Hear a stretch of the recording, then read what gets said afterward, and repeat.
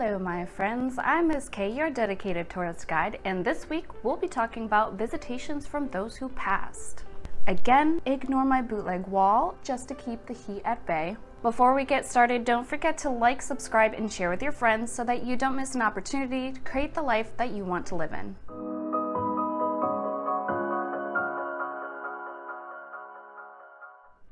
Visitations. Just to clarify, by no means am I at all claiming to be a medium of any sort. I'm just sharing my lifelong experience with you. Another side note is that this video solely goes over visitations in the dream realm, not when you're awake. So there will be another video on that later on. So what are visitations? For me, Visitations are your family, friends, or pets who have passed over that are visiting you in your dreams. These dreams feel more than just dreams, and I'm emphasizing that it feels different because it's just too vividly surreal and it sticks with you for the rest of your waking day. In these dreams, you feel that familiarity of their presence when they arrive, and the dream is more unpredictable. Even those who do and do not lucid dream have a sort of scripted feel to their unconscious. When we have visitations, we say and do things with them that may not fit the script that we're used to when we're asleep.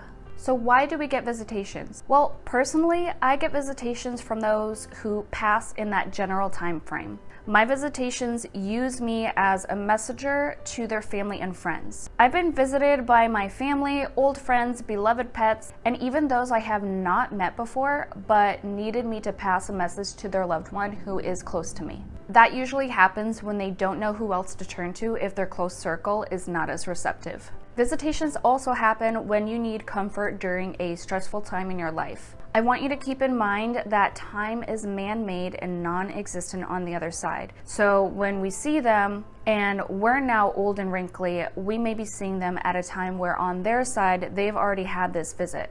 Think of how when we see stars in the sky after they've already died. Same concept. If your loved one has passed away and already crossed over and even reincarnated, it's not unusual for you to still get visitations from their soul because of that knowledge that I just shared with you. Of course, there are loved ones who cannot seem to move on because they feel the need to tie up loose ends here on earth. Most of that is passing along messages to their loved ones. Others that I have encountered just need to talk through it, especially if their life had ended abruptly or they feel guilt. But once that's done, you yourself feel lighter and the visitations sort of dissipate with that said person for at least for a while.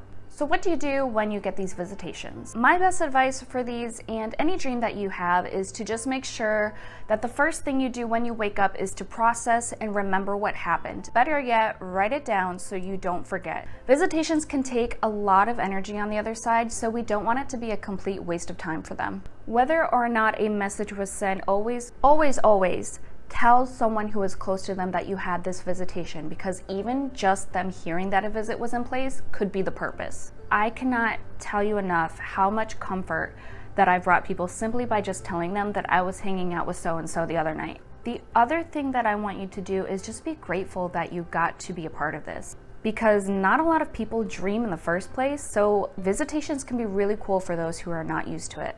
When you think of things like this, naturally you get freaked out and have this anxiety because you think you're going to get haunted in your dreams, but it's really not like that at all. When you're asleep, it's like any other day and you're at peace. Honestly, even in reality, when you think of hauntings, they're scary, but when you see it happen in the moment, you're just like, Okay then. However, I also grew up in haunted houses, so I'm a little desensitized to that. When you have a visitation, there is a high chance that you will not have much control of how the conversation goes. There might have been so much that you wanted to say to a loved one once you finally see them during a visitation, but you don't think to do it because you're just unaware of what's happening. So here's a couple things to help relieve that regretful feeling when you wake up. The first thing that you should know is that whatever you wanted or needed to say has been said without you verbally communicating it. They know how you feel. They know what you want to say. That's why they're there. If you still feel the need to respond,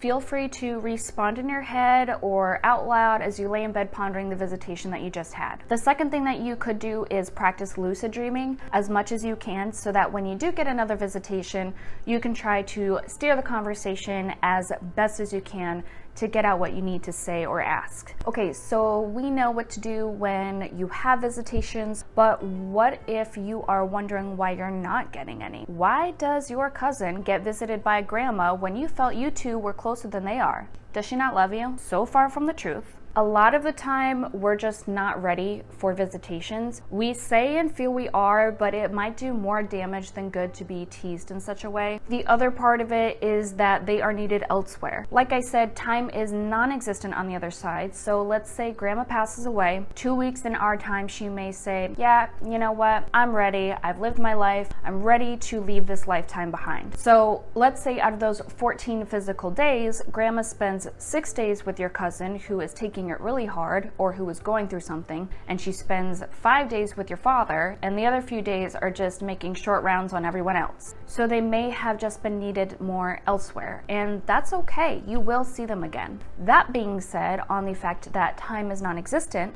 who is to say that grandma's two weeks are over on the other side? What if her day one is tomorrow and her day two is 10 years from now when you need her most? There's just no limit to the possibilities, so I hope that you are following along as best best as you can. Don't take it personally. They love you, they care about you, they may be sending messages in a different way. Always, always pay attention to the language of the universe because your loved ones are there too.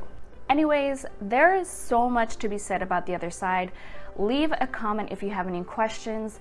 Next week, we'll be talking about how to spot a zodiac sign. Be sure to like, subscribe, and share with your friends. I will see you next week.